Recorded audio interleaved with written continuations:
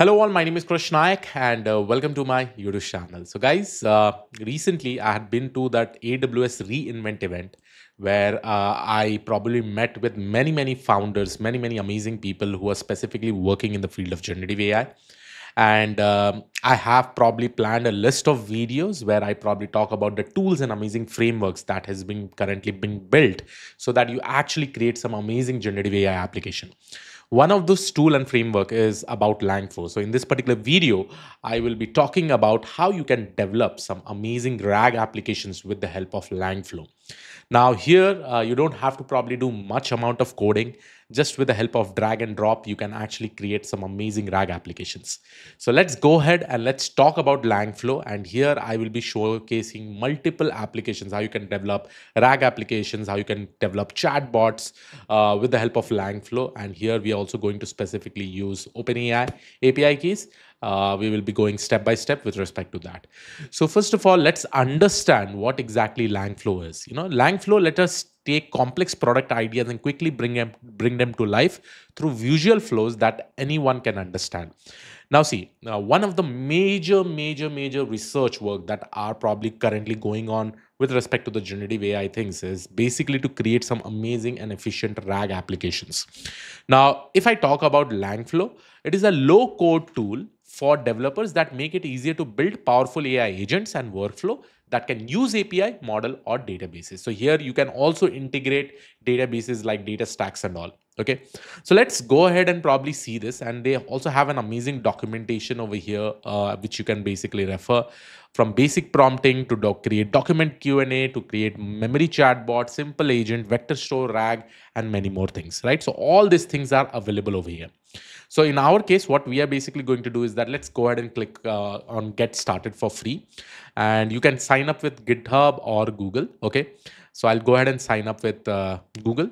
And the best thing about this particular tool is that this tool is completely end to end, you know. So once you probably develop a RAG application, you'll also be able to get the API endpoints and you'll be able to directly use it in your Python code, right? That is the most amazing thing, right? So here you'll be able to see that we are still login and uh, here is the documentation uh, which you can specifically use. Uh, and in this particular, the most amazing thing about this particular documentation, it is just given in simple languages and it has also given multiple examples which you can actually see. Okay. Now this is uh, your DataStax Langflow. Now here I've already created three projects, but I really want to show you completely from beginning. So let's go ahead and click on the new flow. Now in the new flow, you have multiple options. You can get started with basic prompting. You can get started with vector store RAG. You can also start with a simple agent. So these are the blank flows or you can also start with blank flow uh, wherein you can also put your, um, you know, you can probably create a chatbot based on your specific requirement. Okay. So over here, what I'm actually going to do is that I'm going to first, first of all, start with basic prompting. Okay. So I'll click over here, click on the basic prompting. And here you can see that so easily this entire graph has been created, you know, the entire uh, the flow has been created right? And the best part over here is that you have not written even a single line of code right? So here you can see in the readme file you had that you just need to go ahead and add your openai key to the openai model. Then you can also play with this entire chatbot over here. So let's talk more about this particular chatbot what exactly it is doing okay? So here uh, use your chat input right? You can probably write a text over here here you can provide some prompt. Let's say that over here a prompt is given that answer the user as if you're a GenAI expert enthusiast about helping them and getting started building something fresh. And then you'll be able to see that uh, after providing this particular prompt and the chat, we are combining this and we are hitting the OpenAI models. Okay. Uh, you can also add other models also. So see over here, if you probably go ahead and see in models, you can add AIML, uh, Amazon Bedrock, Anthropic, Azure OpenAI, Cohere, Google Generative AI, Groq. There's so many different, different models. Let's say that if I probably bring this particular model by just dragging and dropping. So here is my model. Okay. Um, I can also even type the input over here. I can set up my Groq API key over here and all. It is up to you, right? Which model you want to probably use it, okay? Uh, if you think that you don't have an OpenAI API key, you can also go ahead and use with Groq and other things, right? So here uh, is my OpenAI API key, uh, sorry, OpenAI uh, model that we're going to use. The only thing that you need to provide over here is with respect to the model name, like what model name you specifically want to use, whether you want to go ahead with GPT-4o mini or whether you want to go ahead with any other things. Then you also have the OpenAI API key over here. Here, you just need to provide the OpenAI API key. So uh, to probably run this entire thing in the playground, I need to go ahead and update the OpenAI API key. So let me get the OpenAI API key and let me update it over here.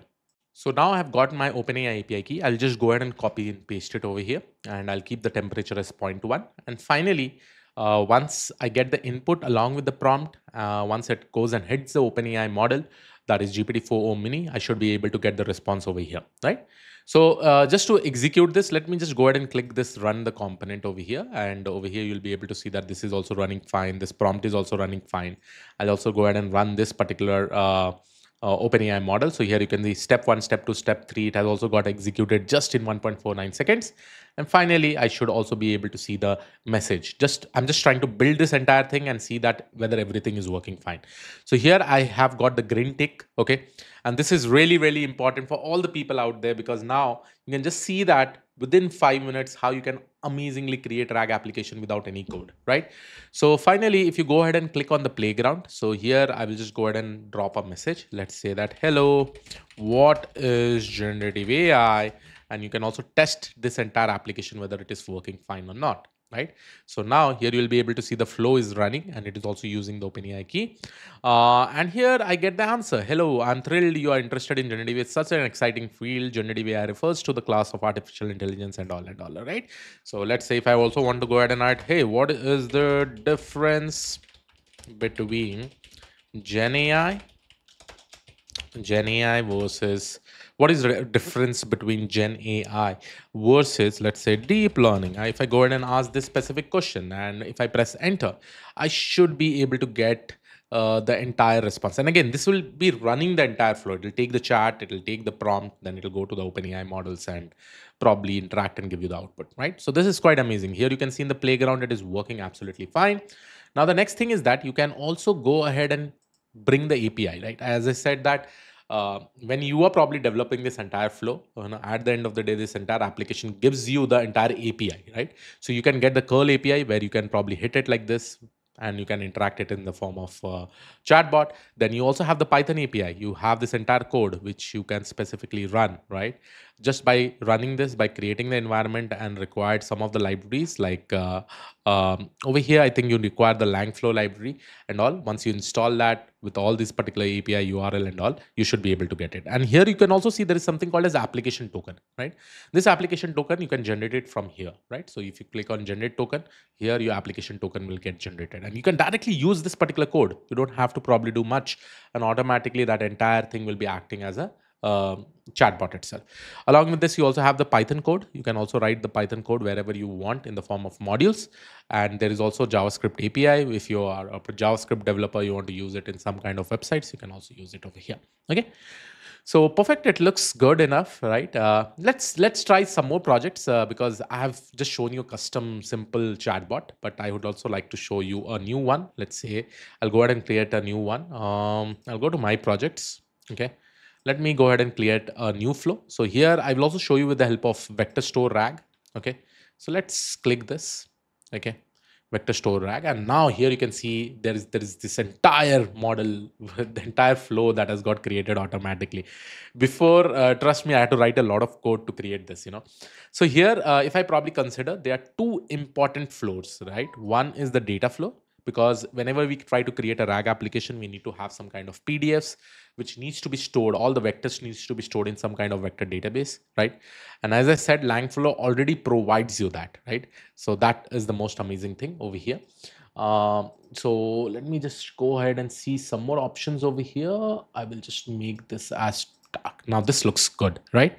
So here what I'm actually going to do is that I will first of all create my entire data flow. So now, now it says that, hey, you have to probably load the file, okay? Load the file to be used in your project. So let me just go ahead and load the file. So let's say I will go ahead and use this attention.pdf, okay? And this attention.pdf is the research paper of transformers, okay? Uh, you can probably see this particular PDF, right? Then uh, the next step that we specifically do while creating the entire RAG application is about splitting the text. Now we are using some chunk overlap of 200, chunk size and all. Separator you can use based on your uh, text that you have. Then you have the OpenAI embeddings. Uh, I will be using some text embeddings thresholds. For this, you require the OpenAI API key. So I've copied and pasted the OpenAI API key. Now, all this information will be probably stored in some kind of vector database. So that is the reason we are using AstraDB over here, right? Now, you may be thinking, Krish, is there only one type of vector database? No, you can also use AstraDB Graph, Cassandra, Cassandra Graph, Chroma DB, Elasticsearch, FAISS, whatever things you basically require. So this this in turns combines all the things that is actually required over here. Okay. Now let's say that for this uh, current uh, application, I'm going to use AstraDB. Let's go ahead and uh, use uh, or add or create a new test database. So here I will say that rag example will be my test database name. Okay. I will select a provider. Let's say AWS US East 2 and I'll go ahead and create the database. So this also provides you that option of creating the DataStax database. Not only that, you have a lot of other options which you want to probably use, you can use it, right? Vector RAG. And probably in the AWS event, I've met with the founders of each and every of these companies and what they are specifically developing. It's, it's quite amazing. There were people, there were technical people who were specifically working. Now, once I probably select the database, uh, the database will get started getting created okay? Till this is basically getting created let's go back to my second module. This is the first module where we had the data flow and this is the second module where we have the retrieval flow right? Now the text will be like what is the document all about? Then i will be getting that particular text. Uh, over here that text will get converted with the help of openai embedding so i need to have the openai key.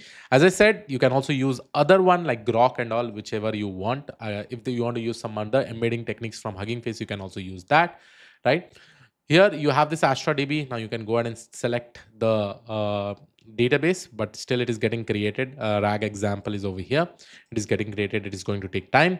Then uh, once you have this database, so whatever question you basically ask, you can probably go ahead and interact with the database and get the information. Let's say that you want to use some other agents. Here also you can add agents. Let's say that there is one agent that I want to probably add, you know, and this particular agent uh, model provider, we can probably select whatever model provider we want. And then that agent also, you can probably use it over here. Okay. So uh, right now I'll just delete this because I don't require it. And then once this is selected, let's see, okay, it is taking some amount of time. But once this is created, uh, then what is happening? Then we go to the parse data. It converts the data into plain text. Okay. Then here is a prompt prompt basically says we are giving a context given the context above answer the following questions as best as possible so this is what we basically do while creating the rag and finally it is going to the openai which is my final model. You can change your model based on your requirement. And finally you get the chat output right? So this entire flow is for the retrieval right? The below flow was for the entire data flow right? So step by step you have each and everything over here right? So now you'll be able to see that once this is basically getting created, we just need to go ahead and select this. And after doing that, we just need to probably run this entire flow. Once we run this entire flow, we'll be having the data that will be available in our AstraDB. So let's wait. Uh, okay, now you can see that uh, my database has been created. So I will just go ahead and select this. Okay, so this is sort selected. Everything is ready. Now let me uh, go ahead and just run all these things. Okay, so I will run this AstraDB flow. So this will build it. It'll take this particular PDF, convert that into vectors, store it in the AstraDB database, which we have created a database over here. I'll also use a new collection name. Okay. So let's say, I will say RAG. Okay. Dimension type, I can use uh, 1536, and then we are going to use with the help of cosine similarity. Okay. So once this is created, we will be also creating our collection. So for, for any database, you definitely require uh, the database name and then you also require the collection name. So let's wait till this is basically getting created. Then we have to select the same thing over there, right? So here you have this rag, uh, I've selected it. And here also we have to select that, right? So once it is done, we are good to go. Now let's run this. and once we run this, now this should also become green and it should be running fine? So now in 2.49 seconds, everything is working fine. Now let's uh, run this also so that we will be able to see the output. So we are just trying to build it. Now, once this things run, you know, we should be able to see it, you know. Uh, Yeah, perfect. Now this is running. Now let's check in the playground. Okay. Uh, let me ask the question, what is the document all about? If I go ahead and ask this, so this I had executed for my previous application anyhow. So now the flow will be running. Uh, what is the document all about? So document appears to be the application of transfer attention mechanism in neural networks and all. Okay. So explain about attention mechanism. Let's say I'll go ahead and write this and we are going to use the OpenAI model. Again, it is up to you. So I've just asked a question like saying that, hey, uh, please explain me about the attention mechanism. And uh, I think it should be running. Now it is interacting with this, right? Interacting with the DB over there. So here is my entire output that I'm able to get it, right? So this is very good. Uh, who are, are the researchers? Researchers for this paper. Um, okay, I'm just asking some random questions and it should be able to give you. And you can see that how fast it is. Hardly I'm taking some amount of time to do this. The research paper, the these are all these people that is probably written over here, right? So this is good. And if you want to get the API, you can go and get it from the curl API, Python API, JS, JS API, Python code, and anything that you really require. So I hope you like this particular video. This was it from my side. Just imagine developing your RAG application in five minutes without writing any code with the help of Langflow. So yeah, this was it from my side. I'll see you all in the next video. Have a great day. Thank you, one all. Take care. Bye-bye.